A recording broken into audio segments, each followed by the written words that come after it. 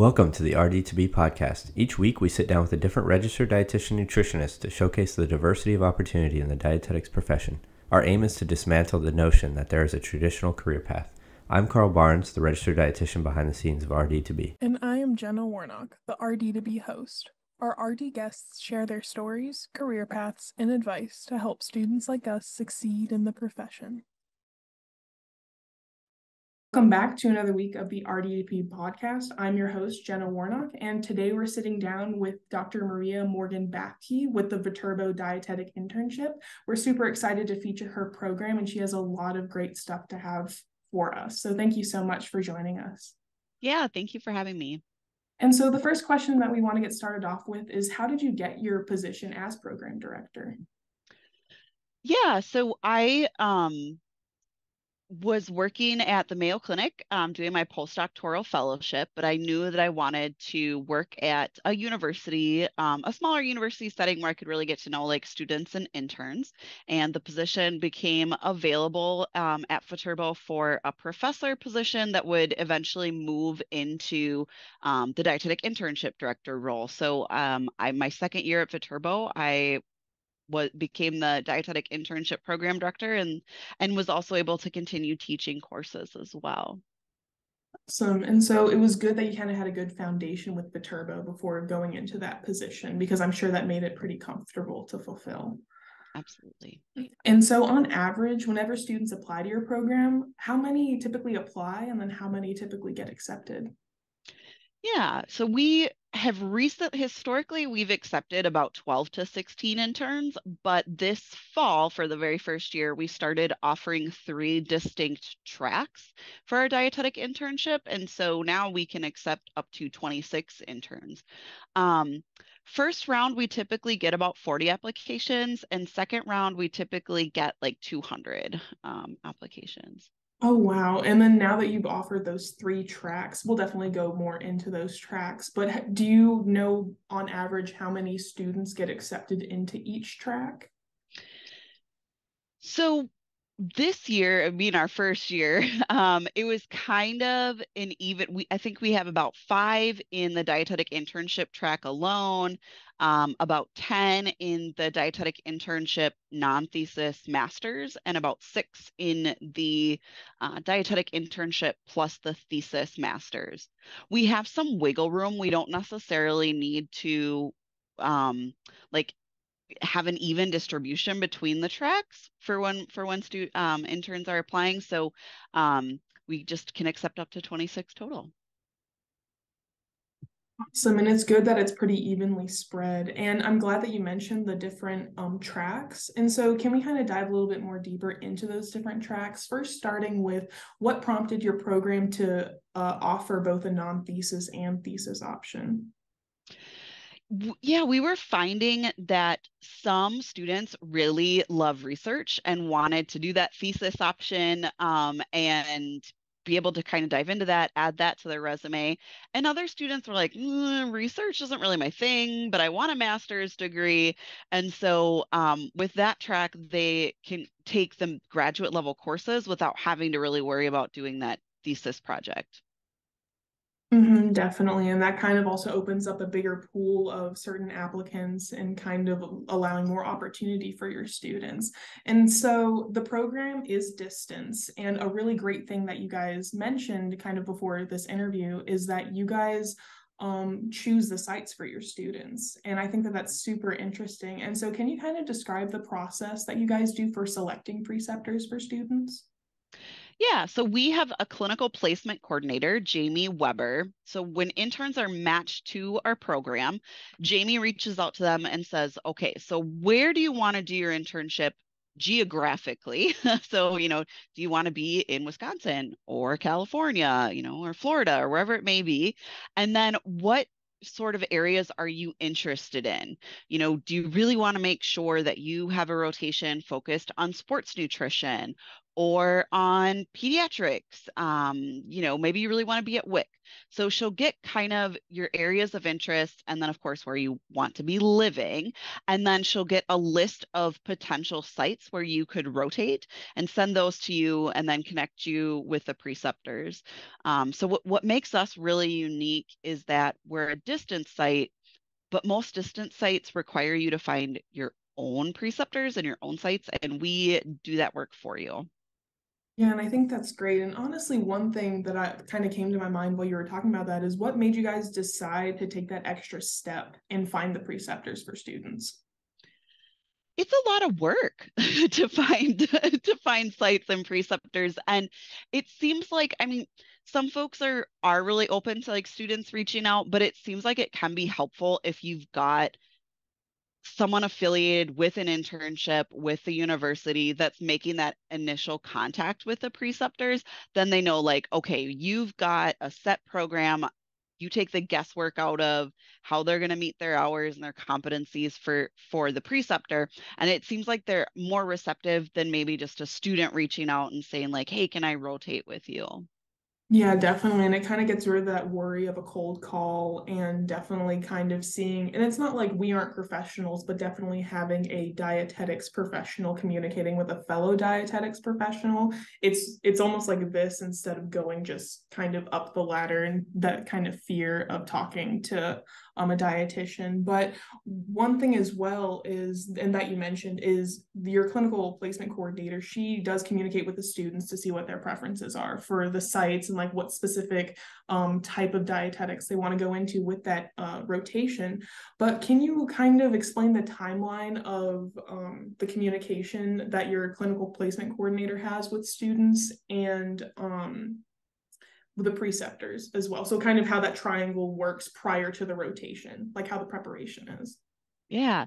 As soon as possible, we get we get to work with that. Um, so we do a priority um, application in the fall for our internship. That normally occurs um, the beginning of November. So if you submit a priority application, Jamie will actually reach out to you in December and say, okay, let's start thinking about where you want to be in the end of August. If you're doing the spring match, um, you find out, of course, the beginning of April. And then Jamie will, again, within like a week of being matched to our program, will reach out and say, okay, you know, where are you seeing yourself? And then you generally know anywhere, depending on when you're officially um, matched to our program, you know, anywhere from um, six weeks to, to six months um, in advance where you're you're going to be placed. Awesome. And so that's definitely a lot of good preparation, even with that range of knowing what you're getting into. And so, with the title of clinical placement coordinator, you have clinical in that name. And so, um, for me, that makes me think of, oh, the three different types of sites you need clinical, food service, and community. And so, even with that title, do they still find the rotations for all required sites? Yes, absolutely. Awesome. So, we mm. make sure you've got all, all three of those um, completed in the year long internship. Awesome. And so then another super unique thing that your program offers is a last rotation to Spain. And so I haven't seen any other programs do something like this that's pretty unique. And so can you also can we first start since you guys now have three different tracks, how this rotation would look like with those three different tracks or if it's different by any means? Yeah. So you can take um, the Spain rotation that runs um, mid May to the beginning of June. Like you said, it's the final rotation, regardless of which track you're in. Um, it's a little bit more attractive to those that are in track two and three because not only does it count as your final rotation, but it also counts as a graduate elective course. So if you are doing a master's degree, it's it, you get more bang for your buck um, that way. But we do have some interns this year that are doing track one and they're they're going on the doing the Spain rotation just because maybe they didn't get an opportunity to um, study abroad in their undergrad and so this is kind of like their last chance to do it or they they're maybe very interested in sports nutrition um, we work with professional athletes in Spain for that rotation um, professional from you know professional just within spain as well as olympic athletes. And so um, those that are interested in sports nutrition are really interested in this rotation. We also work with culinary students over there. And so that's what we sort of how we start the rotation is we work with culinary students. Um, we learn how to prepare the traditional spanish dishes. And then once they sort of have that understanding of of you know what a Spanish Mediterranean diet looks like, then we go and work with the athletes and they can provide nutrition counseling based off of not only sports nutrition, but then keeping in mind what they know about the traditional Spanish diet. Yeah, and I think that's a great blend of sports nutrition, culinary nutrition, and then that nutrition counseling, as well as cultural nutrition. So you definitely check a lot of great boxes with that experience. And so you did mention how with track two and three, that's the non thesis and thesis option, correct? Mm-hmm. mm-hmm. And so that's like one added benefit of them getting more bang for their buck. But also talking about fees or things like that. Do you know like any additional costs or things that this rotation has? Yep. So there is a like a trip fee that goes with that. Um, it varies from year to year based off of like what flight costs are going to be and, and costs of living and things. It's generally about $4,000. That includes your airfare. It includes your housing for the three weeks that we're there. You stay with a Spanish family. It includes all of your meals. Um, it includes your laundry once a week, and then it also includes all of our travel within Spain. So we aren't just working like the whole time we're there and doing nutrition counseling. We also travel to a few different cities within Spain and we learn about the historical and the cultural landmarks as well. Um, and we end the trip with a day at the beach. Um, so all of those things are are included in that fee.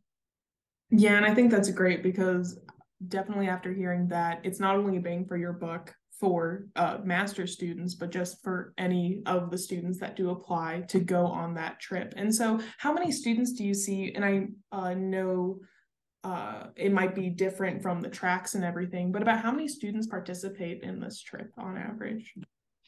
About 14 to 16 students. Awesome. Okay. And um, I'm sure that the Spain trip might be one of the students' favorite part of the program, but are, is there a common theme of maybe other things that students like about the program or just things that you've heard of over the years? I think the common theme that we always hear is the interns really appreciate that we individualize the program to them. Um, making we've officially made it more of a distance program but that's actually not new to us. We've done that for years. Um, we've worked with interns to figure out what their interests are and sort of tailored the program to meet their career goals. Um, and that's part of the reason why we decided yeah why not just have a distance program? Because we're used to sending interns all over the country. Um, and so i think that's really what interns we get to know them we get to know their career goals and we make sure that the internship fits really what they're looking for. Yeah, I can definitely see that as a testament with the clinical placement coordinator. Like one of the first things, it's not just, oh, where do you want to be geographically, but it's also like, what are your interests? What specific thing do you want to get more knowledge about in dietetics? And I think that that's a really, that was one of the big things that I noted whenever you mentioned what the clinical placement coordinator does, is it's that one extra step of making sure that the student gets the most out of their rotation, regardless of it being distance. Because I know personally, um, especially with the graduate um, requirement in 2024 internships you want to save as much money as you can so distance is looking a whole lot more like ideal just for saving money living where it's comfortable where you know. But um it's really great that you don't have to sacrifice anything with that comes with distance of maybe oh i'm only doing this rotation because it's all i have or you know just kind of feeling like that's your only option. So i think it's really great that you have that for your students Thanks. Mm-hmm. And then um, for the types of students that you have mentioned, like oh, sports, uh, nutrition counseling, cultural nutrition, you have mentioned a couple of like topics and things that a student would get involved with. But what typical like types of students apply to your program? Like if they have certain interests or personalities or things like that? Yeah. You know, I think it's a variety. Um, we have really strong sports nutrition placements. Um, we always send students to UW Madison. Um, we send them to Louisville. So uh, quite a few like D1. Um, we have interns with the Minnesota Vikings, um, so like professional level, um, sports nutrition as well. So I think we get a lot of those types of applications. But then, like you're talking about, it's really hard if you need to be site specific right? So if you if you whether financially or family or what have you if you need to stay in a certain area of the country i think we get a lot of those students as well. Um, because you know like you said you can't just get up and move for an internship um, and so that that makes it a lot more feasible for more students Mm-hmm. But it's nice that you still kind of have been able to see the specific types of students that you're helping towards that RD credential, whether it be sports or whether it be location. You're kind of able to work with whatever student you get that comes through that door, which I think is really nice. And one thing we did talk about uh, students' favorite part of the program, but I do think another important aspect is what either you or the faculty members' most favorite part of the program is, because you guys are just as important as the students that are doing it. Uh, my favorite part. So I travel on the Spain final rotation, and we have what we lovingly refer to at the beginning of the internship um, is called boot camp. And so we we have MNT lectures, community nutrition lectures. We do tons of case studies, um, really prepping you for your rotations. And so I see you when you start the internship and like how fresh you are and like helping you along those case studies and then I see when you finish your internship and see you counseling these professional athletes. And it's just amazing to me to see the growth throughout the internship program, to see like start to finish. You guys are like comfortable, you're ready to be dietitians. You like, you know, you're leading these counseling sessions with athletes basically on your own. Um, so to me, that's the most fulfilling part is to see the growth in such a like kind of a short period of time. Yeah, and I think that could also be a really great note of confidence for people applying to internships, like being because definitely imposter syndrome is something that definitely circulates in the dietetics profession. And so I think having a student hear that that's applying for an internship, I'm sure a lot of us are worried, oh, will I even be ready after an internship? Or will I even be enough to become a dietitian? But I think you saying that of what you see your students experience in just that three week period, I think it really is a testament to show hey, even in a short period of time, you can really grow a lot if you're in the right position. And so I think that's a really powerful thing that you said. Mm-hmm. And so, what advice? Because I'm sure um, a lot of students are kind of nervous about 2024 or just kind of what the future holds with dietetics. And so, what advice would you give students interested in applying to your program or just any programs in the future?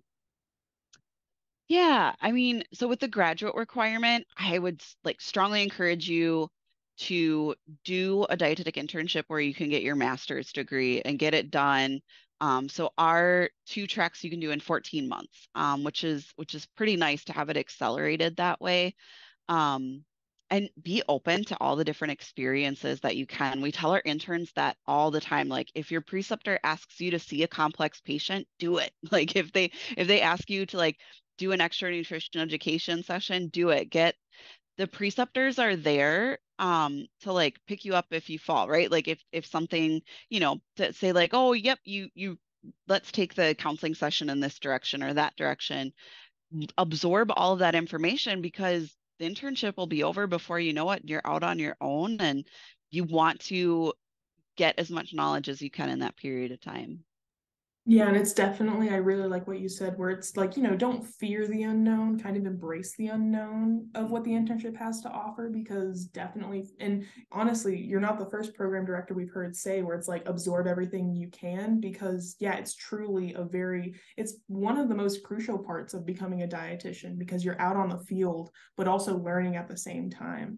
And so I think that's a really great note to end on. And thank you so much for talking about your program and talking about your different tracks and also the super unique parts of your program. And I'm sure a lot of students will learn about your program and maybe be interested in applying. So thank you. Yeah, thank you very much. I appreciate it.